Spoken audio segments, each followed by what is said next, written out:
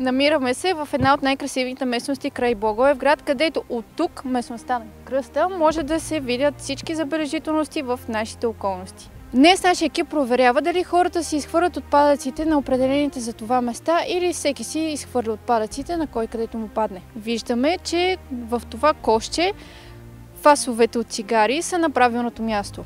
Ще проверим дали останалите букуци са на определените места или са в гората. В началото на алеята по пътя за кръста виждаме, че букуците, някои от тях не са изхвърлени на правилните места. Колко често посещавате тази местност? Ами веднъж месечно, примерно.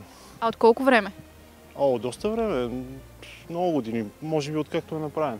А спомните ли си как изглеждаше Заева поляна преди построяването на кръста? Ами много смътно. В смисъл почти не.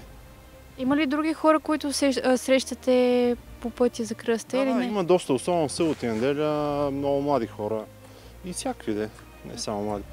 А какво ще кажете за чистотата тук? Има какво да се желая, но има доста места, които са много по-зле, тъй че общо взето от чистите места в България.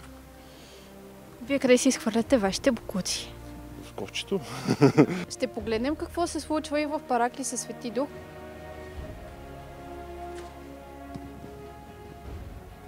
Тук всички любители на скарта могат да си запалят огън. Но въпросът е къде ще поставят необходимите продукти, за да си направят обяд или вечеря. При направената проверка установихме, че има граждани и гости, които пазят мястото чисто и такива, които замърсяват природата.